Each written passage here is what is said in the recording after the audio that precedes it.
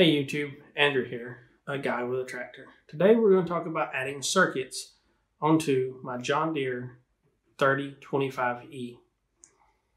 Now, anyone that's done wiring knows there's multiple ways you can run circuits. You can run them all the way to the battery, which uses a lot of wire. You have to get a, a fuse link and put in it.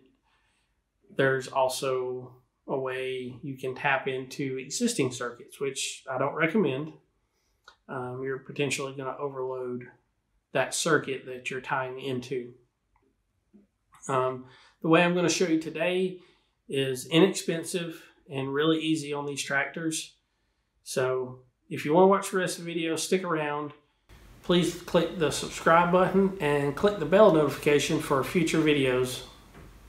Thank you and have a good day. So to access the fuse panel, I'll need you pull this handle on both sides.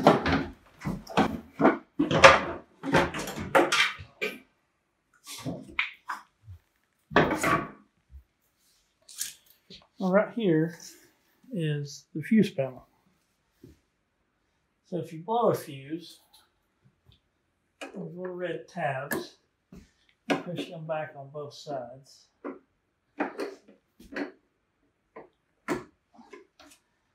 and then squeeze in on both sides.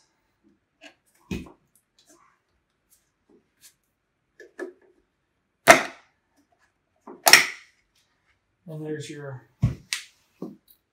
factory fuse panel. Let me get y'all in here closer. Now,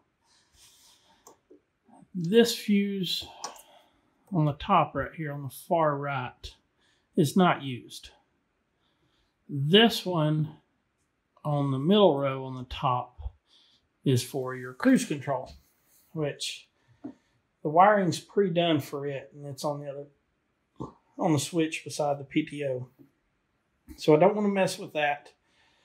And I've looked at these, and I don't have the connectors for to connect into this fuse block, and I don't want something all gaudy and looking rough. So there is another option to tying into a fuse box on these John Deere 3025Es. Now, on like the 1025, if you uh, check out Tractor Time with Tim, he's got a video when he's installing his Artillian grapple where he taps into the fuse block on them, and there's a lot more empty spaces on them. These have a lot more smaller fuse blocks, so you're more limited on them. But I will uh, show you the alternative method instead of using one of these that's a lot easier than removing this big fuse block. All right, on my 3025E, the fuse block that's up on the console below the steering wheel is full. So I need some more power come right here on the left hand side of the tractor, pull two tabs on top, two tabs on bottom. You get another fuse block. These are mega fuses. This one goes your alternator, glow plugs, and the other fuse block that's up top. Right here on the top is a rubber cap. If you pull it, there's three empty fuse spots right here. Now right here is a little plug that you can pull out right here. Now, when this comes, there's there's no wires in it. But I've already put one in and I'm going to show you how to put the other ones in so you can put the corresponding fuses in and have extra circuits using the fuse spots that are provided by John Deere.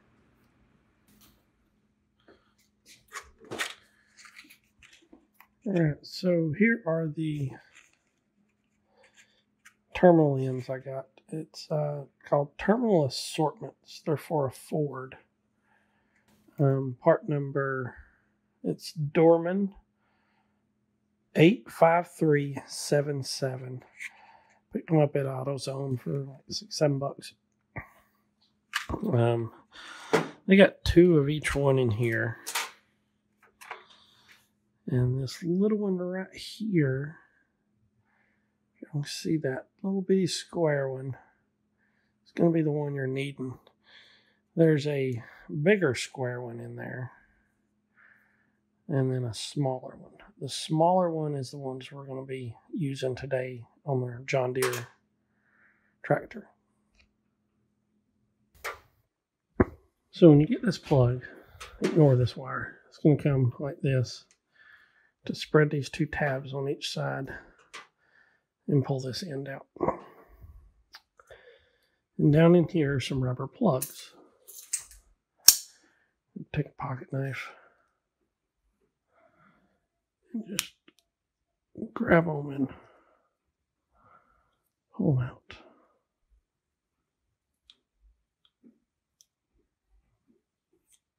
Just like that. Now you have access all the way through to put a wire in like this.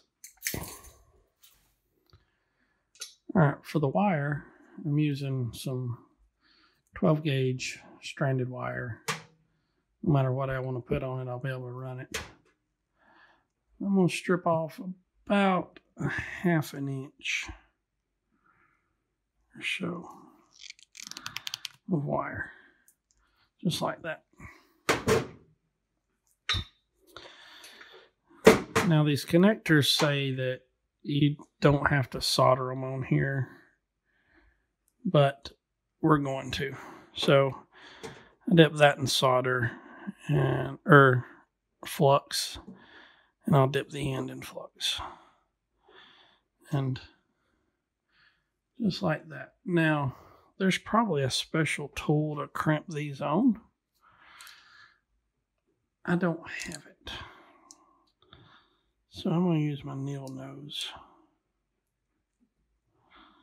And just, it's a little slippery with that flux on there. I'm going to crimp one side in.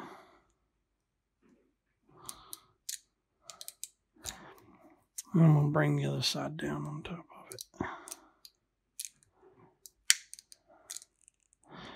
Like that. Now I want to keep it, I don't want it any extra wide as far as this way. I want to make sure these are crimped in so they'll slide in. Now, if they're a little bit wider this way, that's fine because this piece has to go through, but you want it to slide in nice and pretty. All right, now that we have the terminal end crimped on there, we're going to solder it. Like I said, they say you don't have to solder them, but I feel more comfortable soldering it. So we'll solder it now. We'll flux on our wire.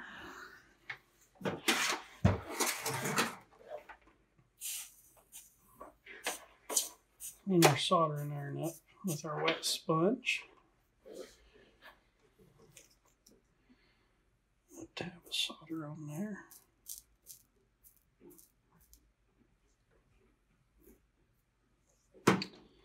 Fresh solder on there.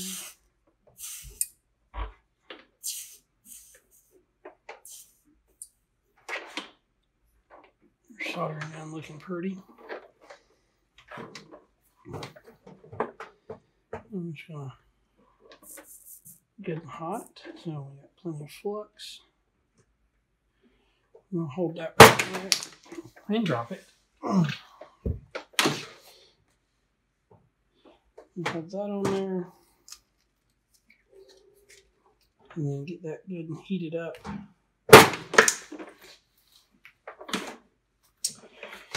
Try number three is the third time's the charm.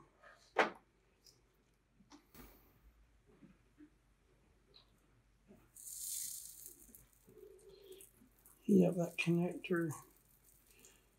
Plenty of solder down in there to fuse it all together.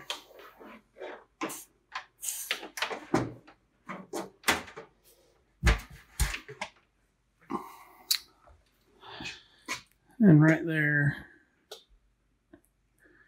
it's all soldered together. So there's no way that'll come out of that end. Now that we have our end on, we'll take about three quarters of an inch of heat shrink and just heat shrink right there at the where the connector is. Just keep water from getting down in the wire, hopefully. Well, this is a waterproof end, so it should be pretty good. So now we're ready to install our wire in. You can see that now. I know the the spades on the terminal run this way. So we're going to look at this and know how the spades go. And it will only click in one way. It won't go that way, so we'll flip it over, try to get it in.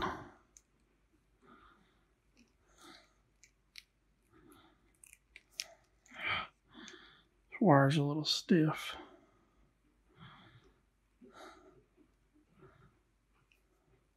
There we go. And just push it on up in there a good ways. You may have to take a pair of pliers and shove it on up in there.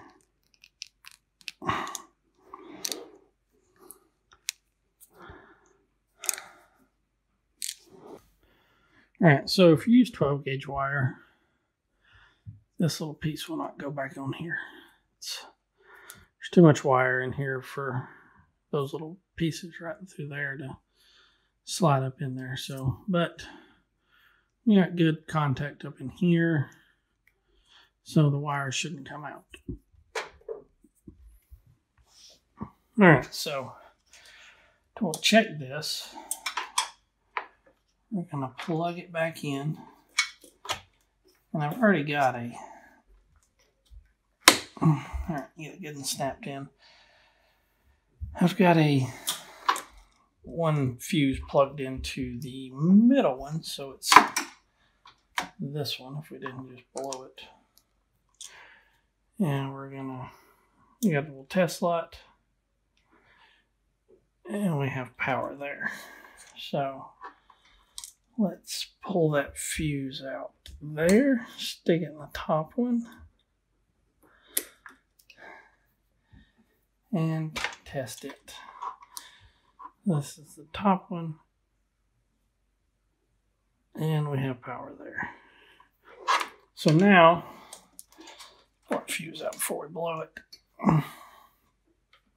So now there is a quick way of adding up to three more circuits on your John Deere 3025E.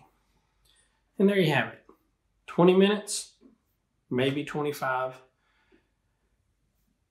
and adding a nice, neat circuit with a fuse that's easily accessible and looks almost factory. So, thank you for watching. And don't forget to, if you haven't already, click the subscribe and click the bell notification. Thank you and have a blessed day.